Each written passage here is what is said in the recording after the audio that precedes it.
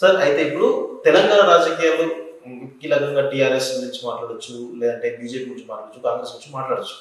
కానీ ఇక్కడ ఇంకొక కీ రోల్ ప్లే చేయడానికి రాజకీయాలకు రీసెంట్గా వచ్చినటువంటి ఆ మాజీ IPS officer RS Praveen Kumar గారు బీఎస్పీలో జాయిన్ అవడంతో కొంత బీఎస్పీకి బలమైన పుంజుకున్నాయి. అయితే దేశవ్యాప్తంగా బీజీ బీఎస్పీ ఏమో బలహీనం అవుతా ఉంటే ఈరోజు ఆర్ఎస్ ప్రవీణ్ కుమార్ గారు బీఎస్పీలో చేరడానికి గల కారణాలు ఏమై ఉంటాయి సార్? ప్రవీణ్ కుమారు ఎందుకు అందరూ చేరిండి అనేది నేనేం చెప్పలేను. ఆయనే చెప్తుండు కాబట్టి ఆయన ఏ పరిస్థితిలో పట తను ఉద్యోగాన్ని వదిలిపెట్టి బీఎస్పీలో చేరండి అనే విషయం చెప్పిండు. ఆయనే చెప్తుండు నేను అంటే సమాజం తన అంటే ఇప్పటివరకు సర్వీస్ చేసిన కానీ ప్రజల కోసం ముఖ్యంగా అణగారిన వర్గాల కోసం పనిచేయాలి అణగారిన వర్గాల రాజ్యాధికారం తీసుకురావాలనే దాంతో ఏంటంటే ఆయన మాట్లాడుతున్న విషయం అది. ఇంటర్నల్ కారణాలు మనం చెప్పలేము అది. ఆయన చెప్తున్న విషయాలు తప్ప మనం ఏం చెప్పలేం. బీఎస్పీ సక్సెస్ అవడానికి అవకాశం ఉన్నాయా ఒకటి ఏంటంటే బీఎస్పీ ఉత్తరప్రదేశ్ లోపల కాంశీరాము ఆయన ఒక గొప్ప కృషితోటి కొన్ని ఎత్తుగడలు అంటే అక్కడున్న పరిస్థితి ఉత్తరప్రదేశ్ ఉన్న ఆర్థిక రాజకీయ పరిస్థితి లోపల కాంశీరాము ఎత్తుగడలు తన సిద్ధాంతం అది హిట్ అయిన ఆనాడు ఇటైంది. అంటే ఒక రకంగా ఉత్తరప్రదేశ్ అనేది అవుతుందో వాస్తవంగా అక్కడ అంటే భూస్వామి విధానం బలంగా ఉన్నది తర్వాత కుల దురహంకారం అగ్రకుల దురహంకారం ఉండేదో చాలా అతి తీవ్రంగా ఉన్నది. కాబట్టి అతి తీవ్రంగా ఉన్న ఆ పరిస్థితి లోపల కమ్యూనిస్ట్ పార్టీ లేదు. అంటే ఇక్కడలాగా అక్కడ కమ్యూనిస్ట్ పార్టీ మొదటి నుంచి కూడా అంత బలంగా లేదు అది కొన్ని కొన్ని ప్యాకెట్లు ఉండే కానీ అది కూడా బలహీన పడిపోయిన పరిస్థితి లోపల ఒక గత్యంతరం లేదు కాబట్టి ఏంటంటే ఆ పరిస్థితి లోపల సహజంగానే అంటే కింద అణచివేయబడ వర్గాలు కులాలు ఏదైతుందో ఒక తీవ్రమైన అసంతృప్తి ఉన్న పరిస్థితి లోపల కాంశీరామ్ సిద్ధాంతం ఏదైతే అది ఇట్ అయింది. ఇట్ అయింది కాబట్టి దాని కింద సంఘటితపడ్డారు. వాళ్ళు అక్కడ అధికారులకు అధికారులకు రావడం అని అంటే కూడా వాస్తవంగా బీఎస్పీ పార్టీనే మొత్తం ఓన్లీ ఒక్క పార్టీ అంటే తన అంటే ఎవరితోటి ఐక్య సంఘటన లేకుండా రాలేదు. కొంత ఐక్య సంఘటన ఎత్తుగడలు కూడా ఏంటంటే కాన్షిరామ్ ఉన్న కాలం అవలంబించారు ఆ రకంగా ఏంటంటే వాళ్ళ అధికారంలోకి రావడం అనేది అది మనం చూసిన విషయమే. దాంట్లో ముఖ్యమంత్రిగా మాయావతి పనిచేసింది. కొంతకాలం ముఖ్యమంత్రిగా ఉండడం కొంతకాలం లేకపోవడం ఇవంతా జరిగిన విషయం మనకు తెలిసిన విషయమే. కాబట్టి ఇలాంటి అక్కడ పరిస్థితి లోపల కూడా మాయావతి ముఖ్యమంత్రి ఉన్న కాలం లోపల కూడా ఏ చేసింది? అంటే అమలు అంటే అధికారులకైతే రాగలిగింది కానీ తిరిగి వాటిని ఏదైతే అంటే రాజ్యాధికారం బహుజన వర్గాల రాజ రాజ్యాధికారం అనేది ఏదైతుందో దాన్ని నిజంగా చేయగలిగిందని అంటే మనకు వచ్చే ఫలితం చేయలేదన్నదే వస్తుంది అది. చేయలేదు కూడా. చేస్తే మరి ఇవాళ ఎందుకుంటే ఉత్తరప్రదేశ్ పరిస్థితి అట్లా? ఇవాళ కూడా ఇప్పుడు వాస్తవంగా ఎంత ఎంత భయంకరంగా అక్కడ దళితులు కింది వర్గాలు అత్యాచారానికి గురవుతున్న విషయాలు కూడా మనం చూస్తున్నాం మనం. దేశంలో లోపల కనుక గమనిస్తే ఉత్తరప్రదేశ్ లోపటనే అత్యాచారాల సంఖ్య ఎక్కువ. అక్కడ ఏ చట్టం లేదు ఏ ప్రజాస్వామ్యం లేదు అక్కడ ఒక భయంకరమైన అగ్రకుల దోపిడీ అణచివేత ఇతర ఇంకా అన్ని రకాలుగా ఉల్లంఘనలు జరుగుతున్నాయి అక్కడ. అంటే ఇది అంటే ముఖ్యమంత్రిగా మాయావతిగా ఉన్నప్పుడు కరెక్ట్ చేస్తే ఇతరులు రావాల్సిన అవసరం లేదు అది. తనే ఇంకా తన అధికారం ఇంకా డెవ అదే ఎస్టాబ్లిష్ అయ్యేది అది. కానీ ఆ తర్వాత వివిధ ఎన్నికల్లో కూడా బీఎస్పీ ఓడిపోయింది అది మనం గమనించినాం.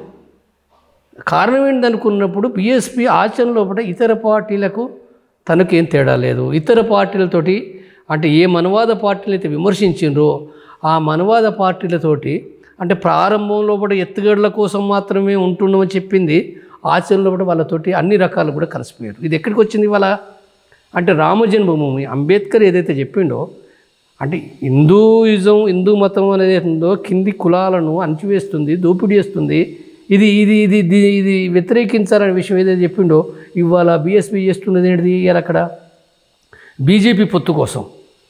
బీజేపీ మొదటి నుంచి వ్యతిరేకి బ్రాహ్మణ పార్టీని చెప్తూ దానితోటి పొత్తుండడం దానితోటి మెతక ఉండడం దానితోటి వివిధ సంబంధాలు మెయింటైన్ చేయడం అనేది ఏందో లేదా బీఎస్పీ పార్టీ లోపల కూడా. వాస్తవంగా ఇతర కులాల నుంచి శూద్ర కులాల నుంచి బీఎస్పీలకు రావచ్చు. తప్పుపట్టాల్సింది ఏమీ లేదు అది.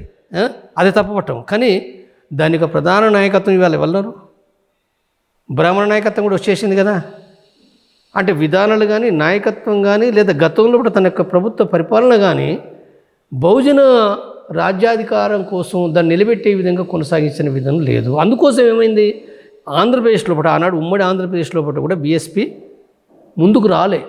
ఒకటి రెండు సీట్లు గెలిస్తే కూడా ఏంటంటే అవి వాళ్ళు వేరే పార్టీలకు వెళ్ళిపోయారు. దేశవ్యాప్తంగా కూడా ఇదే పరిస్థితి బీఎస్పీ అంటే మసకబారిపోయింది దాని ప్రతిష్ట దిగజారిపోయింది అది. బీఎస్పీకి ఇతర పార్టీలకు ఏమీ లేదు అనే విషయం. అయితే ఇక్కడికి వచ్చేవరకే తెలంగాణలో తెలంగాణ లోపల ఒక రకంగా వాస్తవంగా తెలంగాణగా దేశవ్యాప్తంగా కూడా ఉన్న సమస్య ఉంది. తెలంగాణ లోపల కూడా దళితులు కానీ లేదా కింది అణచివేయబడే వర్గాలు ఎవరైతే కొంతవరకు ఆ వివక్షత ఇది కొనసాగుతూ ఉన్నది కాబట్టి ఈ చర్చ జరుగుతున్నది కాబట్టి ఈ పరిస్థితిలో పుట్ట ప్రవీణ్ కుమార్ ఈ విషయాలు ఏవైతే మాట్లాడడం మాట్లా అంటే విదేశం అంటే ఉద్యోగం చేసేటప్పుడు కూడా కొంత తను ఆర్గనైజ్ చేసుకున్నాడు స్వేరో అనేది అవుతుందో ఆ తర్వాత తను మాట్లాడాడు. దాంతో ఏంటంటే ఇక్కడ తెలంగాణ ప్రజల పట కొంతవరకు అంటే కింది అణచివేత గురే వర్గాల పట కొంత అది అది ఏర్పడింది కొంత విశ్వాసం ప్రవీణ్ కుమార్ పట్ల కొంత విశ్వాసం రావడం అనేది. ఉన్నది అది. ఈ ఈ పరిస్థితి లోపల అయితే ఇవన్నీ కూడా కొన్ని చర్చ వస్తున్నాయి. ప్రవీణ్ కుమార్ పట్ల కూడా ఎన్కౌంటర్ విషయంలో చర్చకు వస్తుంది. ఎన్కౌంటర్ కూడా తను ఏ జవాబు చెప్పినప్పటికీ కూడా ఏంటంటే సరే అది డ్యూటీలో భాగంగా చేయడం వేరు. డ్యూటీలో భాగంగా ఆ డ్యూటీలో భాగంగా జరిగినవి తప్పనంటే వేరు. కానీ ఆయన చెప్పేది ఏంటంటే డ్యూటీ అనేది అది మాత్రమే అనటం లేదు ఆయన ఆయన ఏం చెప్తుంటే రాజ్యాంగ ప్రకారంగా సరైంది అని అంటుండు. రాజ్యాంగంలో భాగంగా నేను చే అది జరిగినాయి నేను ఎక్కడ కూడా రాజ్యాంగాన్ని భిన్నంగా ఎక్కడ ఎన్కౌంటర్ చేయలేదు అని మరి రాజ్యాంగ భిన్నంగా జరిగిన ఎన్కౌంటర్లు అనేకంగా ఉన్నాయి. అనేకంగా ఉన్నాయి. అయితే ఆయన ఆ విషయం మాట్లాడటం లేదు.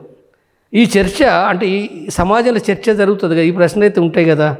ఈ ప్రశ్న ఆయన వెంటాడుతుంటుంది. కంటిన్యూగా వెంటాడుతుంది. ఎవరు మాట్లాడినా మాట్లాడకపోయినా సమాజం దృష్టిలో ఉన్నది కాబట్టి చర్చ జరుగుతుంటుంది. రెండో విషయం సరే అదొకటి ఉండని.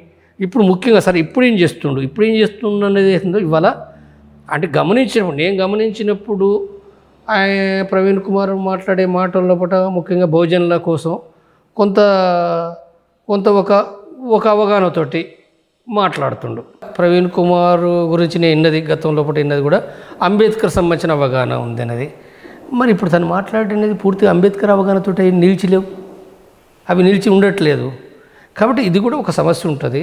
అయినప్పటికీ కూడా ఈ రాష్ట్రంలో కొంత స్పేస్ ఉంది కాబట్టి కొంత బహుజనులను కొంతవరకు ఆర్గనైజ్ చేయడంలో కొంతవరకు ఆర్గనైజ్ చేయడంలో పూట కావచ్చు. బహుశా కొంతవరకు ఏంటంటే కొంతవరకు అంటే ఒక బలమైన అంటే తను ఏదైతే చెప్తుండో ఆ రకంగా ఏంటంటే తన అధికారులకు రావడానికి అవకాశం రాకపోవచ్చు కానీ కొన్ని ఓట్లు కొంత ఓట్ల చీలిక అనేది అయితే తప్పనిసరిగా చేయగలుగుతాడు. అవకాశం ఉంది. అది ఎంత పర్సెంట్? ఐదు శాతమా? ఏడు శాతమా? ఎనిమిది శాతమా? లేదా ఒక ఒక ప్రాసెస్లో పుట్ట ఇంకెన్నో మార్పులు జరగవచ్చు కానీ ఒక శక్తి. అంటే బీఎస్పీ అనేది ఉందో గతంలో ఉన్నట్టు కాకుండా ఇప్పుడు ప్రవీణ్ కుమార్ నాయకత్వంలో ఏవైతే కొంత చేస్తుండ్రో ఒక శక్తిగా కూడా ముందుకు వస్తున్నది అనేది వాస్తవం అది.